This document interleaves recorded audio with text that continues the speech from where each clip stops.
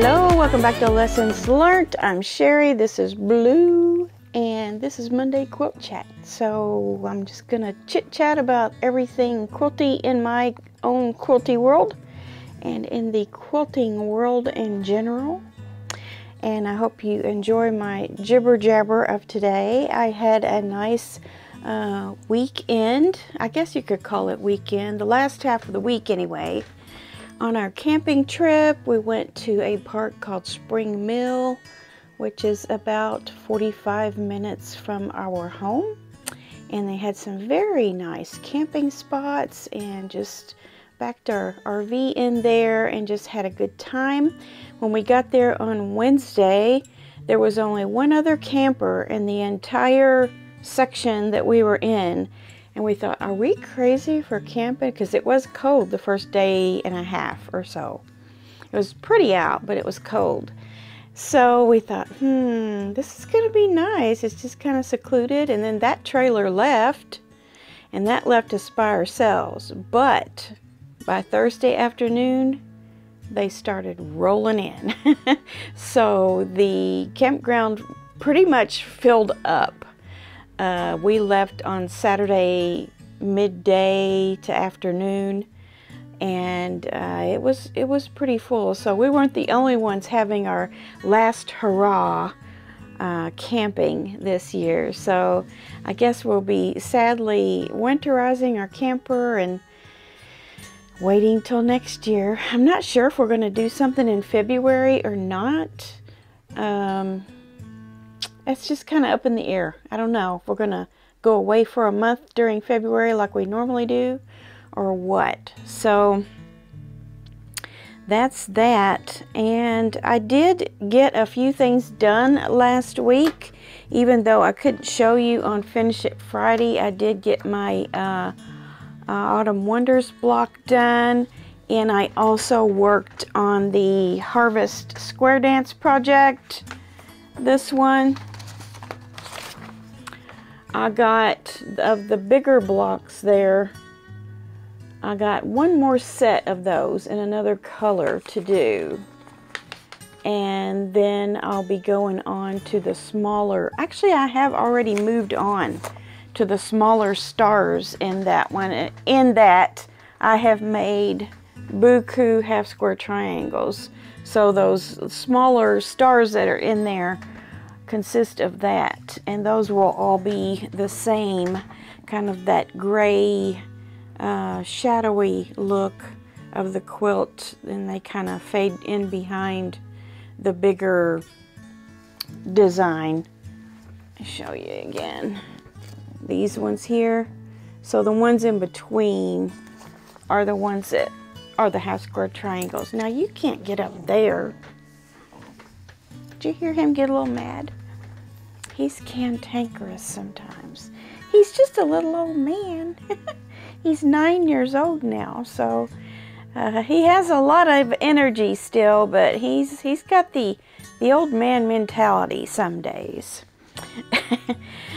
so such is life as a as a dog mom. And then I hope you enjoyed the Thursday or the Wednesday video on that Southwest themed quilt uh, four, four yards of fabric in three hours. It was actually less than three hours. So it's a fun, fun quilt to make. Hold on. And then also I worked on the um, horse panel quilt, the commission job for the little girl's bed. Uh, I finished that and I will put a picture. It's not the best picture, but it's of the quilt top. I had to go on and get it packaged up and ready to send to Mary to long arm it. But I'll put a picture right here for a second so you can see that. That's just it hanging on my design board. Not the best picture, but you get the idea. It did get done. so I'll show you a better picture of that of, of when I get it back. I'll probably be uh, getting that quilt to them rather quickly, but I'll try to take some pictures of it for you before I send it off with the finished uh, quilting and the backing on it. I'm using a uh, gray and white polka dot uh, Minky for the back, and I just think it's going to be a really, really cute quilt for her. So that's off my plate. I'm happy about that. I'll just have to bind it when I when it comes back. Um, what else? Oh, um, I found an article in the latest American Quilter magazine.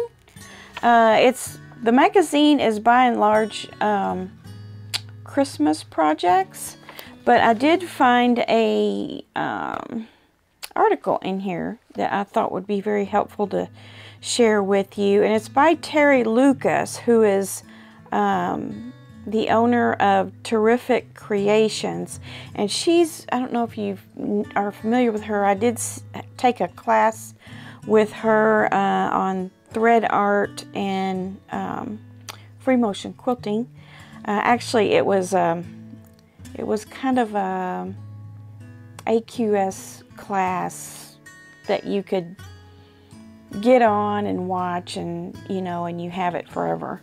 So uh, I did watch it when she had that out um, along with some other ones. But anyway, she has this article in the magazine this this month, and it's uh, fundamentals of free motion quilting is what she teaches. And she does needle and thread pairing, thread weight, machine and personal tension, and the essentials of practice. And she wanted to share some tips and techniques in this article before she starts sewing. So even if you don't do a free motion quilting or thread art uh, types of activities with your machine, she has some really good tips to get started, very practical things that you can use to make your sewing day go better. And I appreciated those, and some of these I do do, but uh, I want to share them with you because I'm sure all of us kind of fail at times with that. So, his first thing she says, believe it or not, is tidy up the house or at least the kitchen. And I do try to do that. I do try to make sure things are tidy and the kitchen is clean. So that does kind of ease your mind and, and make you a little less um, guilty feeling for taking time out of cleaning the house and uh, sewing or quilting instead. So if you can get that under your belt for the day, the day goes better. It just does. And then her next one also was kind of a su surprise to me. Get dressed. she says at least a change into clean jammies. uh, she says a denim skirt and a t-shirt or a ball gown and tiara. so whatever getting dressed means to you, she has a, quite the sense of humor. Um, will help you to to feel like you're getting down to business to start to sew. So that's that's true. Now I have to actually go outside my house and come to another building to, to sew. So I'm pretty much always dressed. Well, yes, I'm always dressed to come out here. Uh, I don't come out here in my pajamas. But uh, yeah, I mean, sometimes it does help you to you put a clean set of clothing on and brush your teeth and wash your face and comb your hair and, and, and like she said, get down to business. So she said take seven minutes for dinner prep. So I've found this very helpful. And the crock pot, the crock pot is your friend or at least take your meat out of the refrigerator. Now, Mark and I have been practicing the carnivore diet for the last few months, and we eat a lot of meat. We eat beef, bacon, butter, eggs, and a few other meats, occasional fish, and you know, we have a lot of meat in the freezer, but if you don't get it out of the freezer, it doesn't turn out quite as well when you go to cook it. So I'll try to do that first thing in the morning. Either get something in the crock pot where it'll defrost itself like a roast, or get those steaks out of the freezer and let them thaw out so that when it's time to eat, I can just run in and do that real quick, have dinner, and come right back if I want to. So she said, scrambling to prepare something when there are hungry people who might seriously consider chomping your right arm is smart. she said also take some uh, some sort of hydration into your sewing room and snacks so that you don't have to um, you know go back into the rest of the house to to find that. And then she also says to get up and stretch when it's time to have your snack. She says have a good chair. A good chair is essential.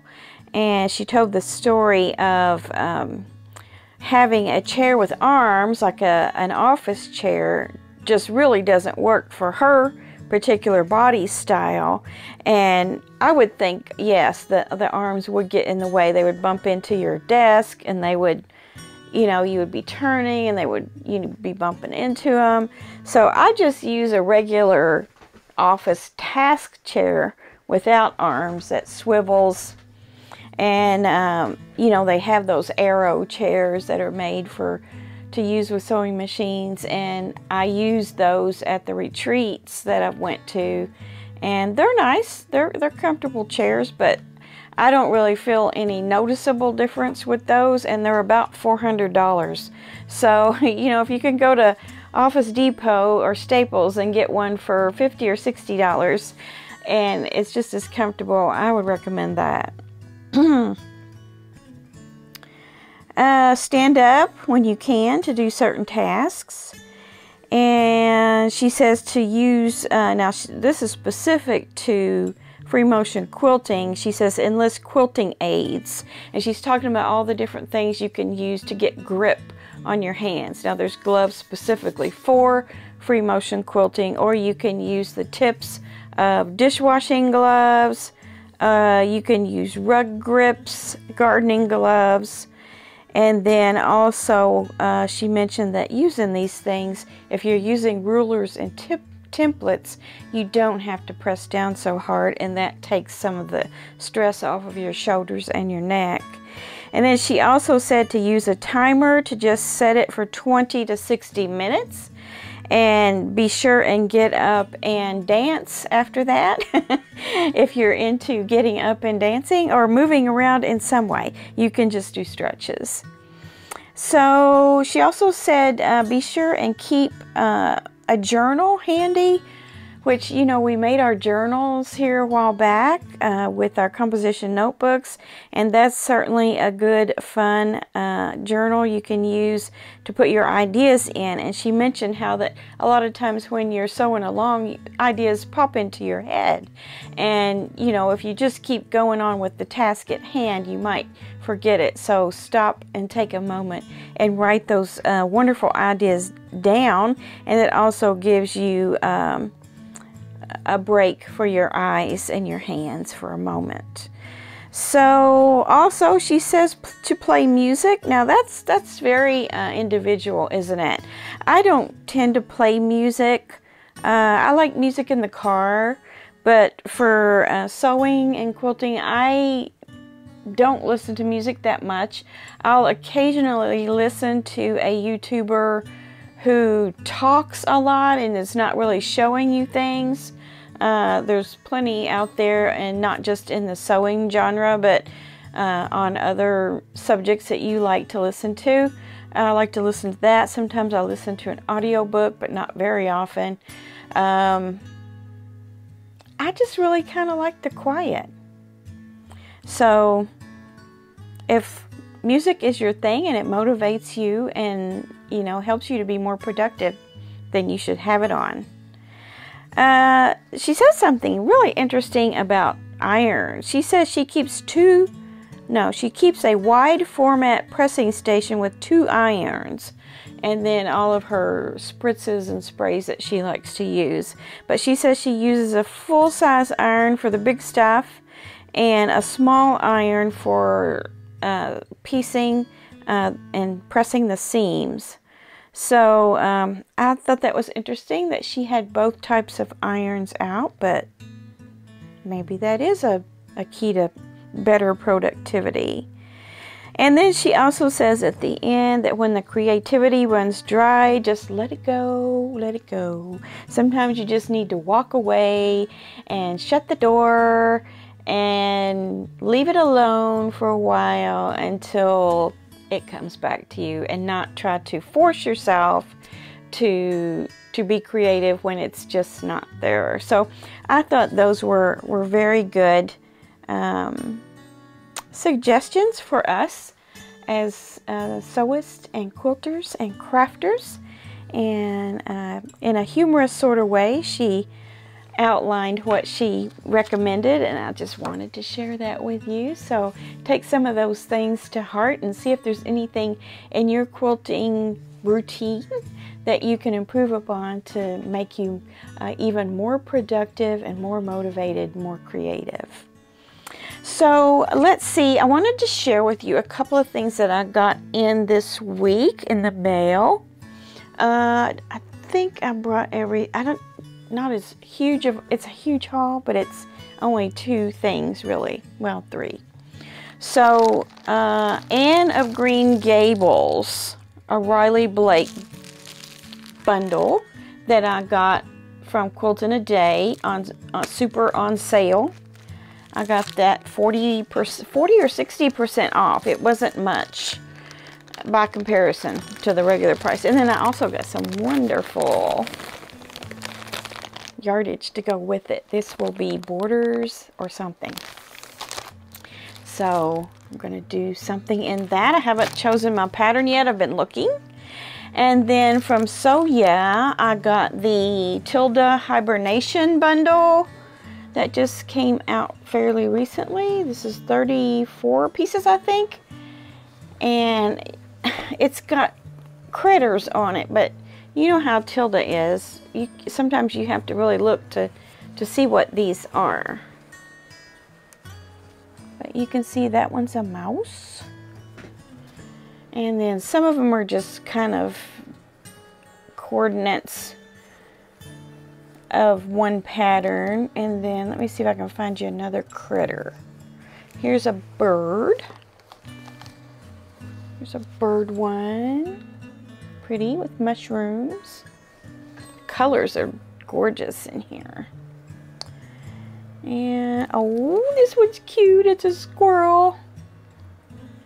So the theme is hibernation. So these animals are kind of in sleep mode. Although I don't think mice hibernate. I don't even think squirrels hibernate, do they? Let's see what else is there. Well, I have those in a bunch of different colors, it looks like, is what's going on. So a mouse, a squirrel, and a bird.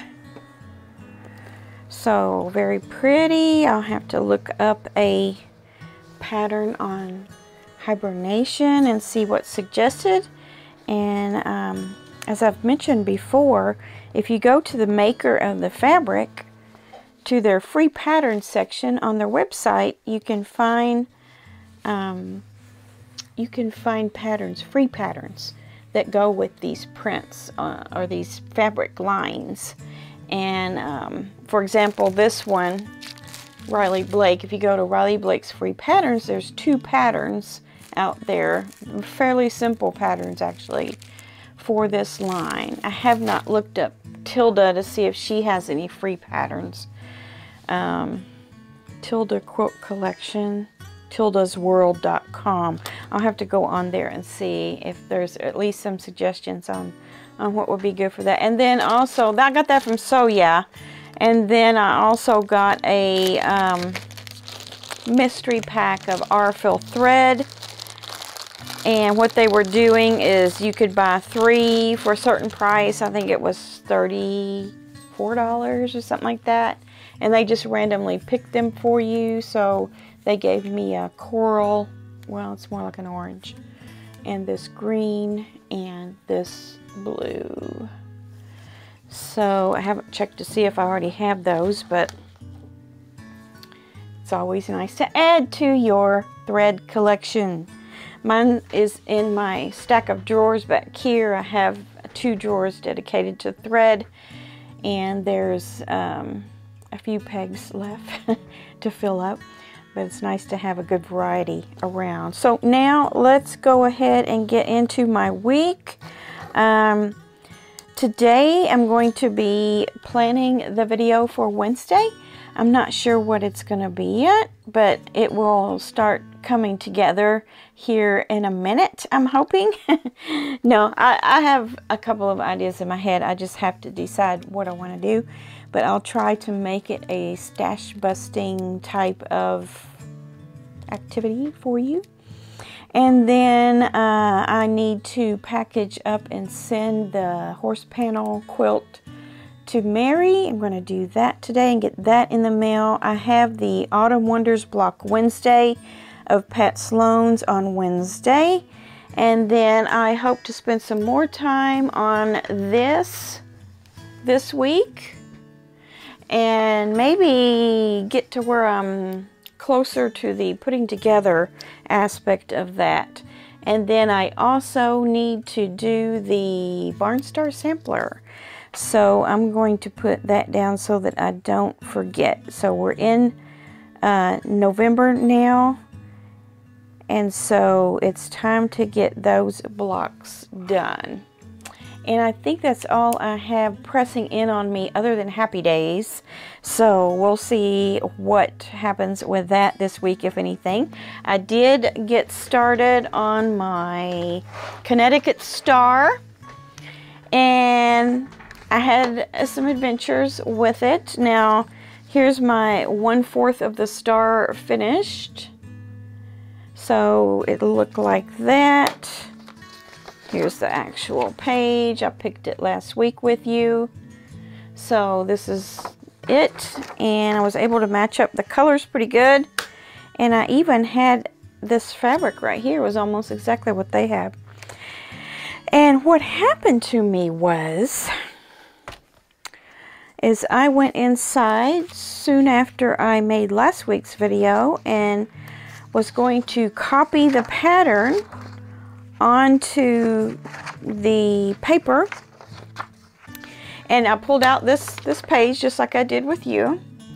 And I went inside to copy it. Well that's not Connecticut. That's Colorado. Well guess what? I copied Colorado. And I came out here. And I had all these fabrics out and ready to go based on the picture. And I tried every way in the world to get Colorado to look like Connecticut, and it just wasn't happening. I did a fantastic job paper piecing, but it didn't look like anything because the layout didn't go together with with this. So, lesson learned, pay attention when you copy your pages. You're, it's not the page that's on behind the actual star because that's too easy. It's the one next door to it. So anyway, I spent quite a bit of time on that first quarter of a block, but I was determined to go ahead and get at least this much of it done. So as the mood hits me this week, I'm going to do some of this and maybe get another section or two done of that because I'll be wanting to pick another star here pretty soon. So I hope uh, the rest of you are FPPing along with me if that's appropriate to say. and uh, I know some of you are. I see you on the Facebook page. By the way, if you're new here and you don't uh, know it, I have a uh, Facebook page. It's called Lessons Learned and it's open to the public so you can go out there and join that group without jumping through any hoops and the link is in the description box. So that's all I'm going to put down for right now. Just making a couple more notes here. Okay, here is the uh, quilt of the week, and I will put that right here so you can watch that while I'm talking. It's called Oh My Gosh, 70 by 88 by Rebecca Tucker of Christiana, Tennessee. Christiana, Tennessee. It says hand piecing all the one and a half inch squares of reproduction fabrics into 9 patch and 4 patch blocks was a great project for Rebecca when traveling. The Sue Garman pattern kept her busy for about three years. After the small patches were sewn together, Rebecca set the blocks together on her Bernina. She did her own quilting in a stippling pattern on her long arm. Oh my gosh was displayed at a mountain quilt fest at Pigeon Forge, Tennessee. So, wow, one and a half inch squares of fabric is how she made that quilt. And you don't really appreciate it, you just can't from a photo. But if you go to Paducah sometime or one of the AQS uh, quilt shows that they have around the United States, um, getting up close and personal with those quilts with those teeny tiny uh, pieces is it's it's out of this world. It really is. You just sit and think, "Oh my goodness." I guess that's why it's called "Oh my gosh." you think, "Oh my goodness, how long could that have possibly taken?" And I always have in my mind, they just made this in the last few months. But as we can see here, no, she worked on it for 3 years. So, you know, maybe some of these people that are using these teeny, teeny, weeny blocks in their show quilts, they're spending a lot more than from one year to the next on it. Maybe they're spending three years or more.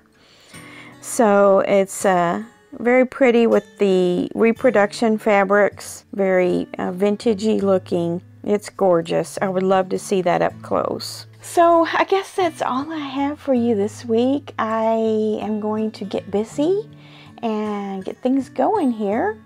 So if you're not ready yet, get something out for, for dinner tonight. Put on some clean pajamas or some clothes and grab a snack and go sew. And I hope you get a lot of sewing done this week.